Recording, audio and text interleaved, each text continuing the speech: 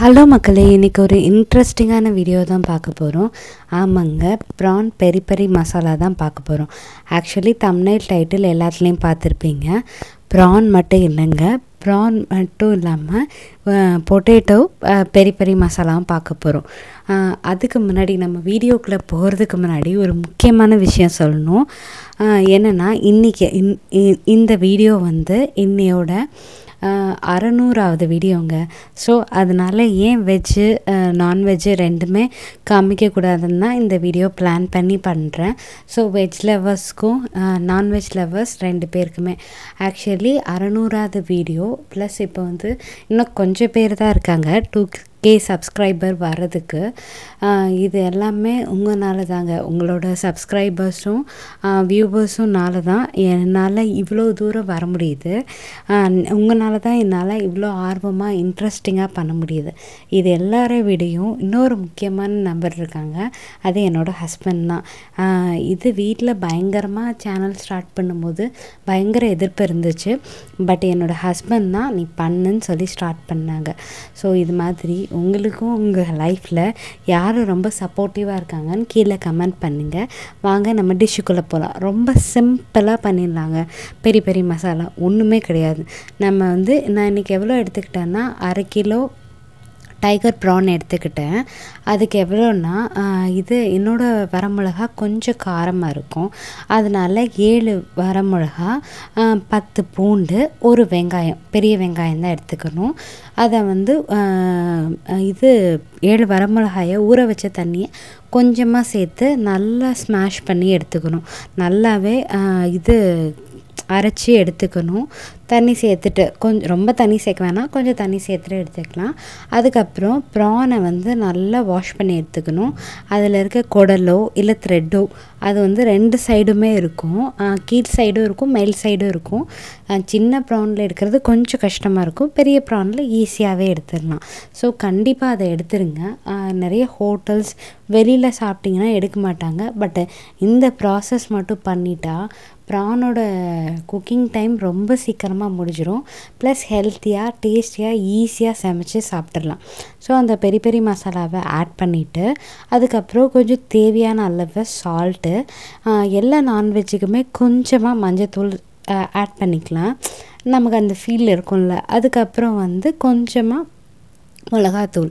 அதுக்கப்புறம் நல்லா ஃப்ரெஷ்ஷாக அரைச்ச பெப்பர் பவுடர் பெப்பர் பவுடர் ஃப்ரெஷ்ஷாக அரைச்சி சேர்த்துக்கோங்க.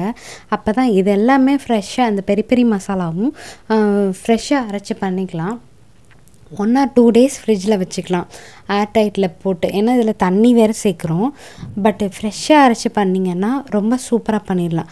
ஜஸ்ட்டு ஃபிஃப்டீன் மினிட்ஸ் ஊற வச்சுட்டு டக்கு டக்குன்னு அரைச்சி இது பண்ணிவிட்டு ஒரு டென் மினிட்ஸ் மேரினேட் பண்ணிவிட்டு அதுக்கப்புறம் ஒரு ஷாலோ ஃப்ரை மாதிரி பண்ணோன்னா சூப்பராக இருக்கும். இதில் ரொம்ப ரொம்ப முக்கியமான விஷயம் என்னென்னா நான் நல்லெண்ணெயில் தழிச்சிருக்கேன் இது கடலெண்ணெயில் சேர்க்கலாம். மீனுன்னா கோகோனட் ஆயிலில் பண்ணலாம். நல்லெண்ணெயில் பண்ணது இன்னும் நல்லா டேஸ்ட்டாக இருந்துச்சு.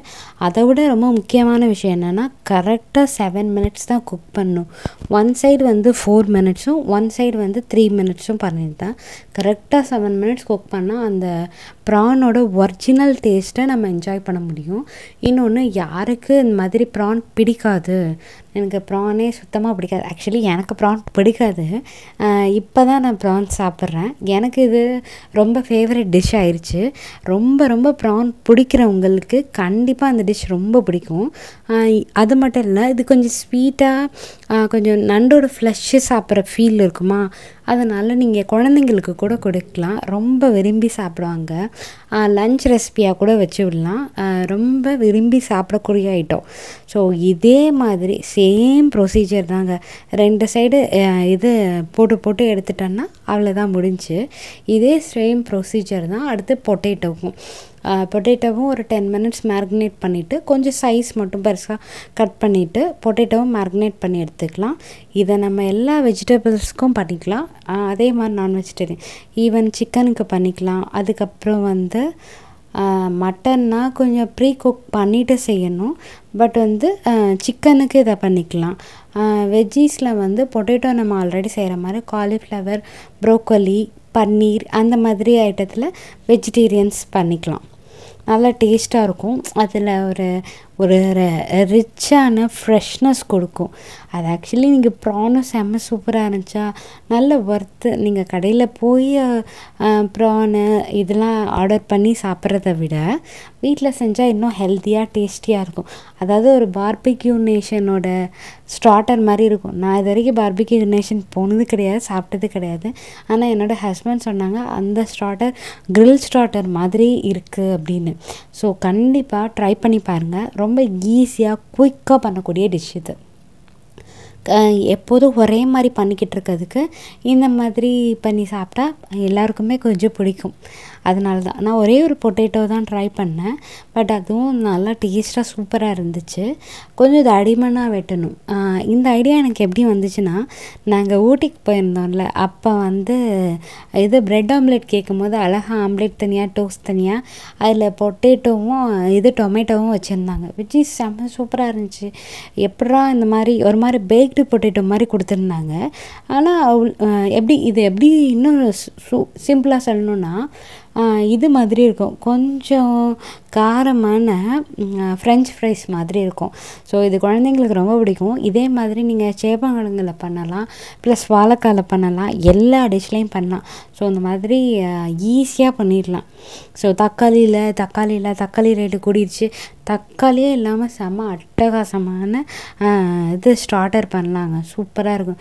இதை நீங்கள் ஸ்டார்டராகவும் வச்சுக்கலாம். சைடிஷ்ஷாகவும் வச்சுக்கலாம். ஒரு ஈவினிங் ஸ்நாக் மாதிரி வச்சுக்கலாம். குழந்தைங்க ரொம்ப விரும்பி சாப்பிடுவாங்க. ஸோ இந்த சிக்ஸ் இது சிக்ஸ் சிக்ஸ் ஹண்ட்ரட் வீடியோ எனக்கு மட்டும் ஸ்பெஷலாக இல்லாமல் உங்கள் எல்லாருக்கும் ஸ்பெஷலான டிஷ்ஷை கொடுக்கணுன்னா இந்த வீடியோவே போட்டேன். இது மாதிரி நிறைய சப்போர்ட் பண்ணுங்கள் நிறைய வீடியோ போடுறேன். நெக்ஸ்ட் வீடியோவில் பார்ப்போம். Okay bye